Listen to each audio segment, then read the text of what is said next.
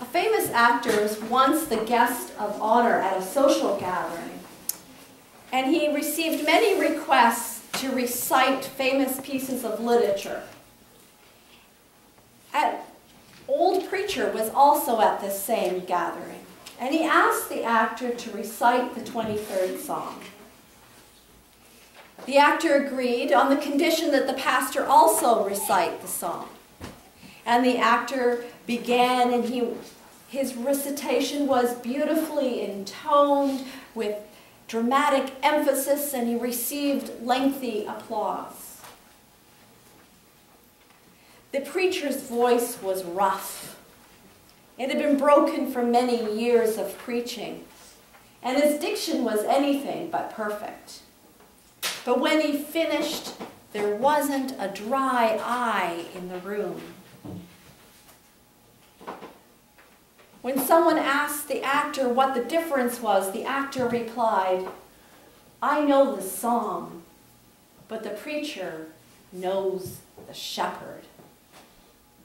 The 23rd Psalm is well known and well much loved. It was written by King David as a true and deep expression of his confidence and trust in God.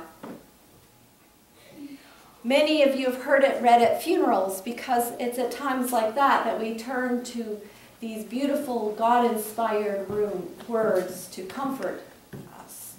The imagery is beautiful. Green pastures and still waters. The shepherd provides all the necessities of life food and water and spiritual restoration and the right path, the right direction for the sheep's lives. And if that little sheep begins to wander, if she is nibbling her way along the grass and loses sight of the other sheep and of the shepherd, then God will come after her. I picture Jesus pulling this little sheep out of an impossibly deep pit with the crook end of his long shaft. But shepherds also carried rods. Rods were clubs with spikes in the end. In 1 Samuel 17, David claims that whenever a lion or a bear threatened his sheep, he went after it and struck it rescuing the lamb right out of the jaws of the animal. And if that wild animal turned on David, he would strike the animal with the rod to death if necessary to protect himself. The good shepherd will do everything, including lay down his life to save us from evil. The shepherd's presence transforms the even in the most dire of situations. The psalmist adds another layer of imagery. Our Lord becomes a gracious host who not only sustains life, but does so abundantly. My cup overflows, we pray. Goodness and mercy will pursue me all the days of my life. The psalmist begins and ends with Yahweh, Lord, the Lord, the name of God. And in between is a description of a life lived fully in the presence of the Lord. The central assertion is, I will fear no evil, for you are with me, and I will live in the house of the Lord forever. But do we? Do we live in the Lord's house of love? Or do we live in our own homes of fear? Are we trapped in a carnival house where the wacky mirrors distort our self-image? Where we walk down dark corridors and mazes alone, where illusions twist our perceptions and the way through is unstable and unpredictable.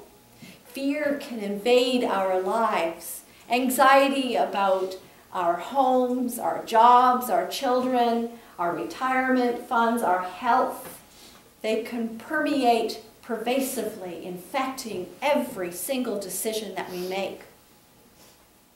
We say that God's presence gives us hope and waylays fear, but how does that work? How do we stay in God's house? Richard Foster, an author and theologian, talks about his relationship with God as his grateful center. One summer, his parents were caught without a permanent place to live, and So they rented a cabin in the woods, and Richard Foster just loved cabin living. At night, he would snuggle under a heavy quilt and watch the fire in the hearth. Night after night, I would fall asleep, he says, watching the strange yellow blaze that warmed us all. It was my grateful center. In the same way that that warm glow calmed and centered him when he was a boy, he says our relationship with Christ can calm and center us. And centered in God's love, we can move into that house, unpack, and settle in. The thing is, we have to work on that relationship with Christ. It doesn't just trust doesn't just come the moment we say I believe.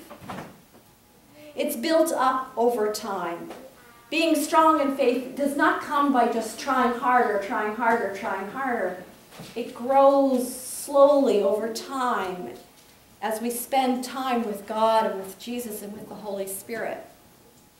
John Wesley called the practices of being with God, the words and actions that channeled God's love, called those the means of grace. He recommended public worship like this, the Lord's Supper, Bible study, fasting, prayer, and searching the scriptures as means of grace. Now, while all of these practices help us know the shepherd by keeping the relationship between gods and humans vital, today I'm going to be focusing on one searching the scriptures. Searching the scriptures means that we read and hear and meditate on the scriptures. It includes preaching. It includes daily devotionals like using the upper room or using devotionals on your iPhone like YouVersion. It, in, it includes engaging in private study and meditations and having general conversations about the scripture with others. Searching the scriptures is biblical. Last week we heard the story of Jesus' resurrection um, appearance to his followers in Jerusalem. And he led them through the law of Moses and the prophets and the Psalms and opened their minds to understand the scriptures so that they could see how that he could forgive their sins and change their lives. Further on in the Bible, we see Paul and Silas traveling through the Mediterranean in Acts 17 teaching about Christ. And they endorsed examining the scriptures to validate their message and bring people closer to God. In the second letter of Timothy, in verse 3, Paul says that all scripture is inspired by God and is useful for teaching, for correction, for training people in the right way, so that people who belong to God are proficient and equipped for good works. When we spend time hearing and reading and meditating on scriptures, we are learning to live our lives in harmony with something that's larger than ourselves, larger than the things that the world values. Cars and houses and job status and money come and go. They turn to dust in our fingers. The secret to life is it has to be lived from the inside out. Living in the presence and harmony of a living God is living your life from the inside out. Spiritual disciplines keep us in that healing presence and power of God. I'm going to go one more step along that same path of thought and suggest that one way to be immersed in Scripture is to memorize passages like the 23rd Psalm. Memorizing slows us down and we hold each word and consider its meaning. And then we link the words together and think, what does that passage mean for my life? And in this way, we shape our world view, and that strengthens our faith. When we memorize a passage, then we carry it with us, and we can call on it anytime and anywhere. This week I've been running around asking people, do you know the 23rd Psalm? What what role does it play in your life? Louise revealed to me that she turns to this psalm for comfort when she's anxious. At night, when her mind is distressed, she can't sleep, and so she prays, The Lord is my shepherd. and that restorative image lulls her to sleep. During the day, when she's worried over a loved, when worry over a loved one builds, she prays, Your rod and your staff, they comfort me. And then she can lean into the power of God's presence to find that security for all whom she loves. In our misery, when we can't even link two of our own words together, the words of the Psalms are there for us, and we can fall right into God's goodness and mercy. Memorizing scripture, then we'll have the words ready to fight temptation. The Lord is my shepherd, I shall not want. I shall not want a new pair of shoes. I shall not want a new bike. I shall not want a new doll. I shall not want a new car. I will stay on budget. With every prescription, there's always disclaimers. Memorizing the scripture will not earn our way out of sin or into heaven. Our salvation is by God's grace alone. Searching the scriptures, however, will help let us learn more about God, help us spend more time with Jesus, and open our hearts to the motivation of the Holy Spirit. Secondly, some people confuse the means with the ends. They place the importance in doing the outward motion, the outward discipline, like memorizing or reading or med meditating, rather than on the renewed heart, one centered on God. John Wesley would warn us not to forget that the end of every command is a pure heart, loving God with all of our hearts and loving our neighbors. Which brings us to the final reason to memorize Scripture. When we do, we will have the strong, sweet words to comfort others. We'll have the courage to share the good news with others. I'm a breast cancer survivor, and in part of that journey, there were a lot of renovations. During one of these surgeries, I'd hoped to use image therapy to deal with the pain. So I'd gone into the operating room thinking about Georgian Bay, my personal place of still waters.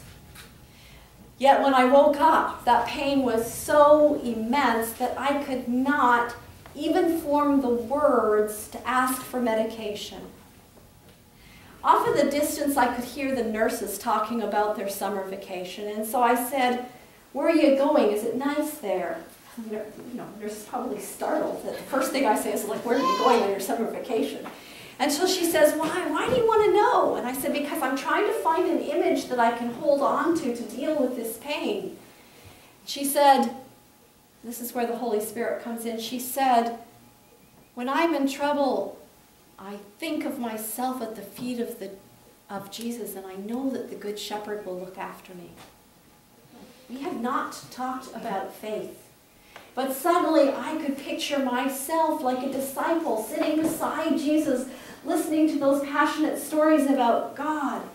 I could feel the power of his healing presence and I felt better.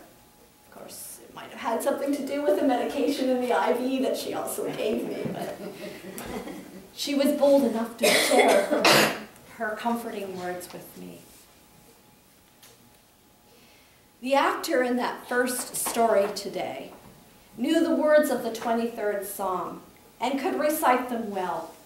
But the old preacher had spent a lifetime rooted and grounded in the love of God he knew the Good Shepherd. So even though his voice was rough and the truth of his message could still come across, the Holy Spirit could work through him to renew the hearts of the listeners in that room that day. My prayer for you is that you find a means of grace that works for you so that you can abide in God and the Spirit can abide in you and the love of Christ will come through and you'll be able to renew hearts. I pray that you may live in the house of the Lord forever. Amen.